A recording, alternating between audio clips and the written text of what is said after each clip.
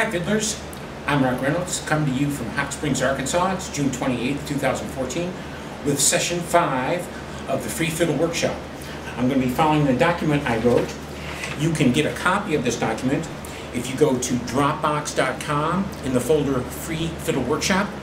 When I'm done with these sessions, you can go to YouTube and look up Free Fiddle Workshop, put dashes in between, same thing with Dropbox. Um, session, you could put the numbers 01 through 10, and also I'll have samples up there. I have samples up there now, but they need to be updated. They'll be updated by this September. So let's get started with session 5. Session 5, version 2A of Fiddle Math and Physiology. I'm going to page 2. Fiddlers, we have a, a couple tools here we're going to use with the right arm, and mostly it's going to talk. I'm going to be talking about the right arm. So we have we have the shoulder and we have the wrist. Though I call those ball joints because those can move pretty much any any direction. The elbow, we have two levers here, the forearm and the upper arm. The elbow is just two-dimensional, and this is important. Um, when, whenever you bend, you can only bend along this plane. For the uh, for this fiddling style, the right hand the right hand is just going to be a clamp. It's just going to squeeze tightly. I was told during my 17 years of lessons to have a loose right arm. This fiddle workshop teaches the opposite. We're going to have a very tight and controlled right arm. And the hand is going to be a tight clamp. So that's what I'm talking about on page two.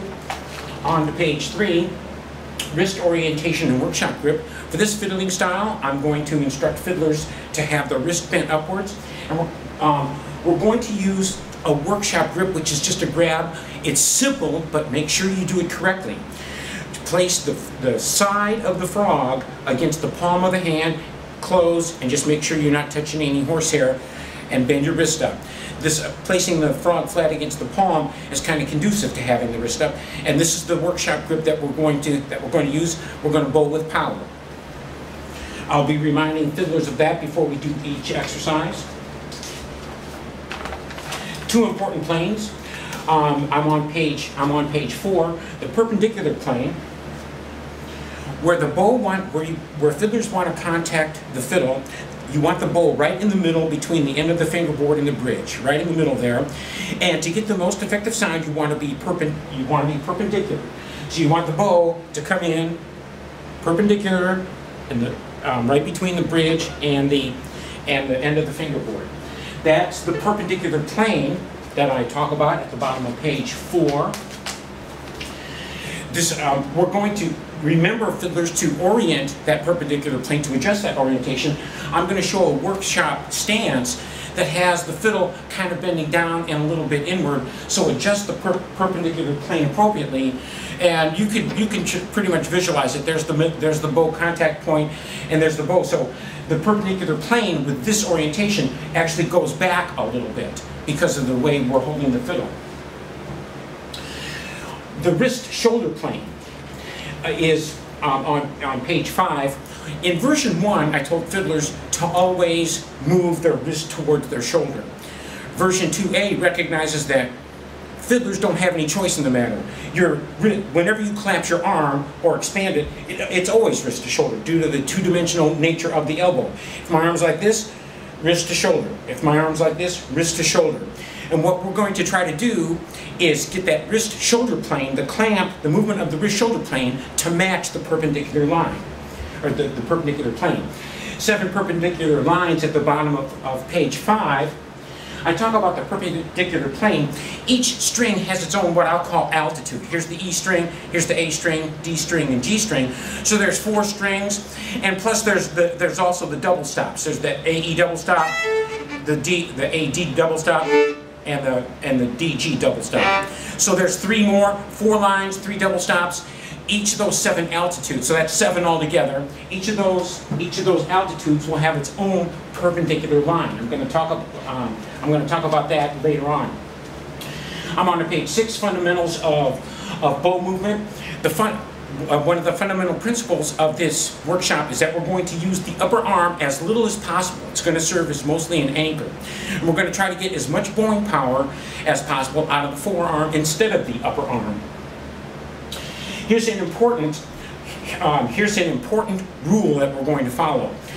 On up bow, the forearm will always pull back towards the fiddler not towards the fiddle. You don't push the bow towards the fiddle, you pull back towards the fiddler.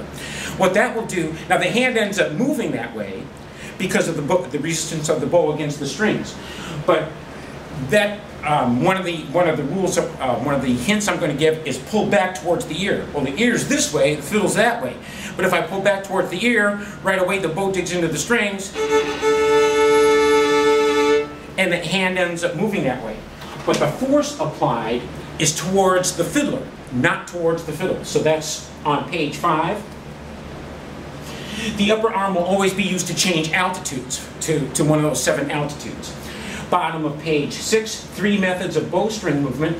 Um, the forearm, expand and collapse, that's going to be um, especially covered in, in session six. And on this, we won't move, move the forearm at all. Here's my little prop, my microphone stand. I'm going to go on to page seven. And, and I demonstrated here, when we expand the arm, the up, when we expand the arm, the upper arm should not move. See how it's, it's resting on that, um, on the microphone stand. Don't expand like this. I show uh, what not to do there. Don't expand where your where your upper arm where your upper arm gets off the microphone stand. Learn to expand, um, keeping your upper arm steady. Upper arm method two, upper arm rotation. Now here again, I'm not. I'm just rotating the upper arm, but we can get bow movement by just rotating the upper arm. And method three, finally, we're going to move the upper arm off the microphone stand, and but whenever we move the, the right arm, will also be accompanied with a rotation to get, to get more bow movement. So those are the three methods of bow movement, and those will be covered in sessions six, seven, and eight. Upper arm orientation, I'm on page eight, um, during expansion. When on, on the partial, this is going to be partial longbow covered in session six, when we just expand the arm and only use about four inches of bow, and this is, and you can do a lot of hoedowns with just this. So I'm, if I'm staying on the same string, I'm not even moving my upper arm. But it's important to have the upper arm oriented correctly. And what I did here, you see pictures, I have a, a, a, string, a string of yarn between two microphone stands. That string of yarn represents the perpendicular line for the E string. So here, here, here's the E string here. And so this is, that perpendicular line equals where, where my bow needs to go for the E string make sure that your initial orientation is good. And you can just eyeball it. So when you put your when you put the fiddle up, eyeball where that perpendicular line is.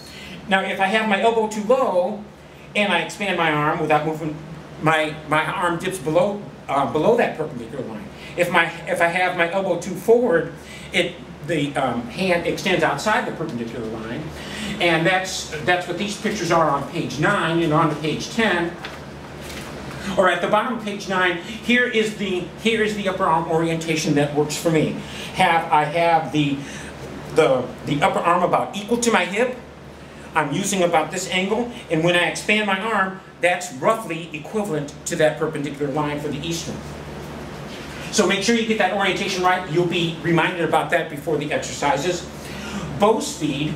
Fiddlers, if you need to speed up a song, you do not need to speed up the bow another way to do it is cut the distance in half. And one of my ironic um, bow speed recommendations that this workshop will make, this workshop will recommend faster bow speed on the slow songs by the waltzes. You do get a more robust sound with, a, with more bow.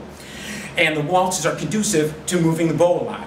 On hoedowns, this workshop is going to recommend a slow bow speed. Keep that bow under control. And we'll, we'll uh, talk about that in the sessions. Bow altitude Here's, here's something that I see fiddlers do. If you're playing on an A string, and you need to get to the D string, that's, and so the D string's that way, some fiddlers may have a, a, a tendency to want to move their arm that way to get to the D. That doesn't do it. You have to move the bow up to get to the D string. I have an exercise in session six where we demonstrate that.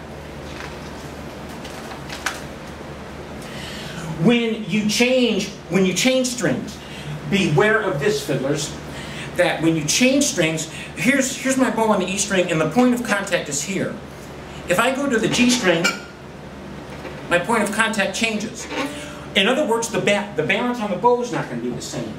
It's easy to see when you're, uh, when you're moving a bow across a string, it's easy to see that the point of contact is changing. It's not as obvious when you change strings that your point, point of contact changes. And the point here is that your balance on the bow will change as you change strings. Expect it to change. When I used to fiddle, I used to look for the same balance, and I'd change strings and keep looking for the same balance. Don't do that. Expect the balance to change. Bow vertical angle of attack on page, um, on page 11. What I was taught is to have, uh, the vertical angle attack is the angle that the bow hits the strings. I was taught to have a vertical angle of attack about like this. I, I took lessons for a total of 20 years. When I watch the real good violinists, that's not what they do. When they're at a when they're at a total down bow, their uh, their bow's almost vertical, and when they're at a total up bow, it's very slanted. I don't know how they do that. I wasn't taught that. But my point here is what I was taught is not what the good fiddlers do. Um, on this, um, we'll have a very a pretty much constant um, angle of attack due to the upper wrist orientation. I'm at the bottom of page 12, bow grip, the claw. We're going to do the exercises using the workshop grip. I've developed a, a, a, grip that's a little more effective than that. I'm not going to talk about it much here. I call it the claw. The reason I like the claw, I'm grabbing the bow at the end. I'm not going to talk much more about that. Session 10 covers the claw. But if you take a look, if you take a look at a top-down view of the claw, the bow angles back. And what that does is that allows me to keep my right arm, my bowing arm, further back. I also squeeze with the ring finger against the frog. That's a nice small point of contact for extra control. Um, see uh, version 10 for the claw, but we'll just use the workshop grip for now. Chin rest on the right side, page 13. I put the chin rests on, on the right side of the fiddle. Version 1 taught to play without a chin rest.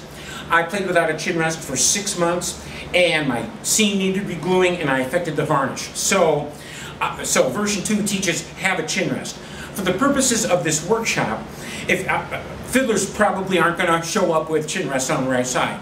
It's not going to hurt your instrument to play without a chin rest, do these exercises for a day or two to see if you want this to do this style.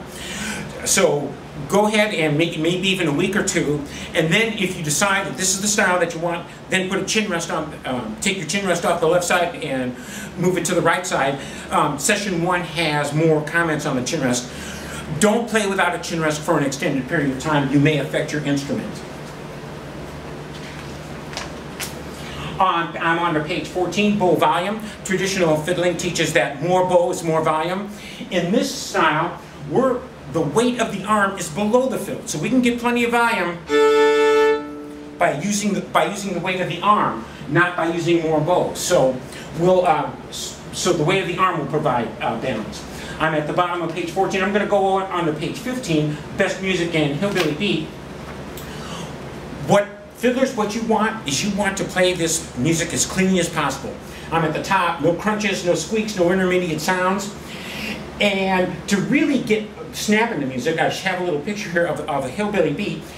If you take a look at music notation, and they'll show a long note and then two short notes, and it looks like each of the short notes is exactly half of the long note. To get real snap in the music, what you do is you delay and move those and move those two notes at the to the end. That's called the hillbilly beat. I'm, I'll talk about that more in session seven. I'm on to page 16. Feeling the music. Fiddlers, I've been told to feel the music. This workshop teaches don't feel the music. Instead, listen to the music. Loose wrist and arm on page 16. Fiddlers, I was taught to have a loose wrist and arm during fiddling. This workshop teaches the opposite. The, the wrist needs to be flexible, but it's going to be tight. Same thing with the right arm. That's how we're going to get power and, and control. Natural right arm twist on the bottom of page 16 and on to page 17. Here's a picture here. If you take your, um, your hand flat out and you, you um, contract your arm, when you get to the end, if you keep pulling, your hand just naturally spins around. Just beware of that when we pull, do an up bow, that's going to be a factor in how it feels. Bow does not leave the strings, middle of, uh, middle of page 17. That used to be an old-timey rule. I have not seen that rule enforced recently, but I see merit to that rule, and that's what this workshop teaches, and that's how I play. Once the song starts, with the exception of maybe a two-beat introduction, after that the bow does not leave the strings. Two keys to the universe. Um, to finish this up, I'm going to talk about these, um, the two keys to the universe more in, in a follow-up session. One key, how, fiddlers, how are you going to learn to play all this stuff? And the answer is you have to know how to practice. And here are the two keys to the musical universe that if you practice using these methods, your fiddling will improve significantly. Key number one is to slow down a song, note by note, analyze each song. With the, with the bow control, we can do that. We can play one note at a time and then, then stop. The other key is how do you get your left hand under control with all, with all, the, with all the notes.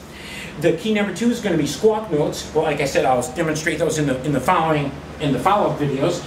Real quick, if uh, here's here's um, the first couple notes of um, Whiskey Before Breakfast.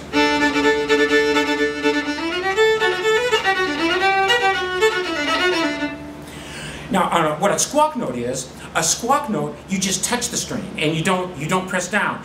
And what that does